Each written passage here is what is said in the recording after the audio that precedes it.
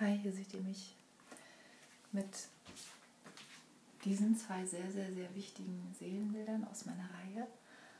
Mm, Rescue rettet die Kinder. Es geht darum, dass wir uns momentan auf zwei unterschiedlichen Zeitschienen oder Zeitlinien befinden und dass es sehr, sehr, sehr wichtig ist, dass alle Eltern und verantwortungsvolle Menschen, die sich in verantwortungsvollen Positionen in der ähm, Pädagogik, Betreuung, aber auch der Finanzierung von Pädagogik und Betreuung befinden, ähm, dass diese Personen, Erwachsene, sich nicht nur um ihr eigenes Kind kümmern, also um ihre, ihr eigenes inneres Kind und ihre eigenen Kinder, sondern dass sie halt auch ihre Aufgabe, die sie übernommen haben, ihrer Verantwortungsposition jetzt gerecht werden wir befinden uns seit 2020 in einer Art äh, Entscheidungsphase und zwar entscheidet ihr euch für die Dunkelheit oder entscheidet ihr euch für das Licht? Und es ist halt so, als würde es momentan zwei parallele Welten geben, die so hier unten, also hier, hier unten quasi noch zusammen waren. Das war noch letztes Jahr. Also hier, wo das V ist unten. Und jetzt langsam driften diese Welten aber auseinander. Das heißt, ihr habt jetzt die einmalige Gelegenheit, euch nochmal zu entscheiden. Geht ihr den hellen Weg oder geht ihr den dunklen Weg? Wir sind an einem sehr wichtigen Punkt unserer Menschheitsgeschichte und es zählt jetzt hier nicht mehr das, was andere wollen, sondern das, was ihr wollt. Ihr habt die einzigartige Möglichkeit, euch jetzt zu entscheiden. Und die zweite Sache, die ich sagen möchte, ich habe ja,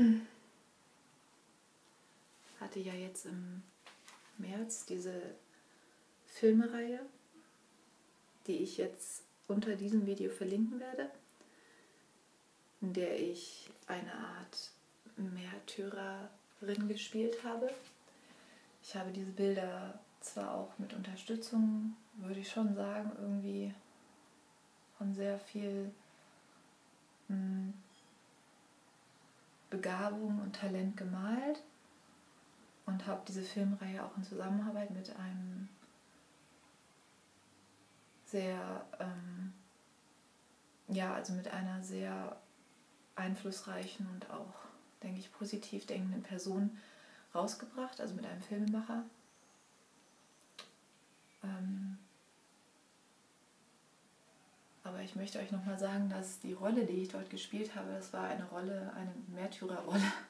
Also die habe ich eigentlich nur gespielt, um meine eigene Familienhistorie zu klären und nicht jetzt hier irgendwie äh, Märtyrer für alle zu spielen oder so. Oder überhaupt äh, jetzt hier irgendwie so einen Gotteskomplex auszuleben oder so einen Märtyrerkomplex und so von wegen ähm, mich der Verurteilung vielleicht von einigen Zuschauern zu stellen, dass ich hier irgendwie irgendwelche Wahnvorstellungen habe oder ja, dass ich mir halt hier die Jesus-Rolle äh, zugeschrieben habe oder so. Das war nur ein Schauspiel. Das habe ich jetzt nur gemacht, um meine eigene Familiengeschichte zu lösen. Es war nur eine Rolle. Und ich bin keine Heilige, bin nicht Jesus, ich bin auch keine Märtyrerin und vor allem stelle ich mich nicht über andere Menschen. Ich bin, ich bin auch kein Channeling-Medium, ich bin einfach nur ich selber. Ich, bin, ich heiße Sarah Maria Francis Kugler und ich bin einfach nur ich selber. Und auch in dieser Filmreihe bin ich die ganze Zeit nur ich selber. Ich channel nicht die ganze Zeit irgendwelche Wesen oder sowas. Und durch meine Geschichte, die ich ja jetzt auch in verschiedensten Videoteilen aufgenommen habe, ist ja auch hoffentlich klar geworden, dass meine Geschichte nicht so einfach war. Und dass dieses Thema des Kinderschutzes einfach durch meine eigene Geschichte entstanden ist. Ähm okay, ich sage euch jetzt die aller, allerwichtigste Botschaft. Ähm, weil mein YouTube-Kanal hat eigentlich, also ich habe eigentlich das, was ich wirklich wollte, hat sich erfüllt. Der Grund, warum ich all das gemacht habe, ist nun vorbei. Und ich möchte euch noch eine letzte persönliche Botschaft geben. Warum, wenn ihr euch fragt, warum all diese Bilder, warum all meine teils verwirrenden oder vielleicht auch traurig machenden oder besorgniserregenden Videos. Ich wollte nie, dass ihr euch Sorgen macht und ich wollte auch nie, dass ihr traurig werdet oder dass ihr euch abwendet oder mich persönlich ablehnt. Ich wollte mich auch nicht ins, in den Mittelpunkt stellen oder irgendwie ganz viel Applaus ernten oder vielleicht Geld damit verdienen oder so. Darum ging es mir auch nicht. Ich hatte den Applaus schon als Kind.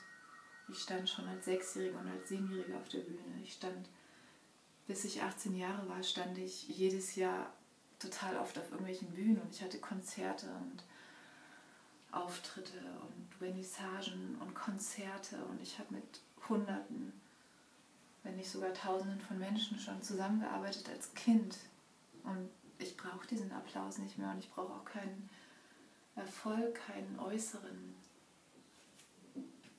Glücklich, wenn ich meine Bilder male und ich bin glücklich, wenn meine Bilder die Personen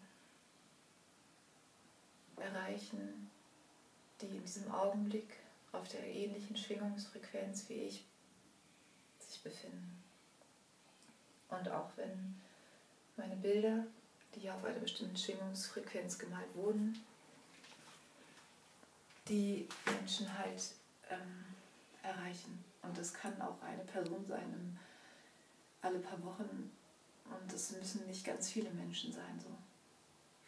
Und vor allem das Wichtigste ist, dass ich das nicht mache, um Macht zu bekommen oder Geld oder Prestige oder Reichtum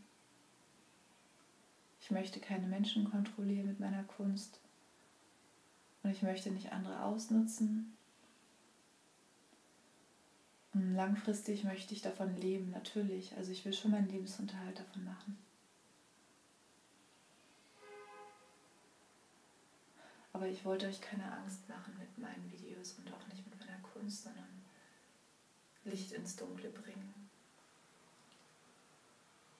Und für die, die jetzt bis zu Ende geguckt haben und die das verstehen, mit diesen zwei Parallelwelten, die gerade auseinanderdriften. Eine geht dahin, eine geht dahin, so könnte man es sehen. Den möchte ich sagen, entscheidet euch für das Helle, entscheidet euch für das Licht und ihr werdet alles bekommen, was ihr braucht. Alles. Aber entscheidet ihr euch für das Dunkle,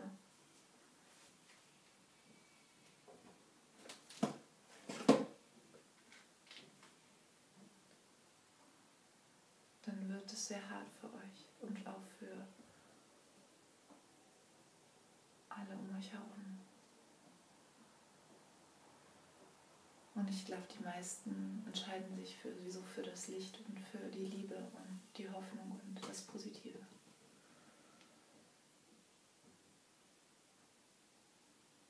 Und bleibt vor allen Dingen in eurer Liebe und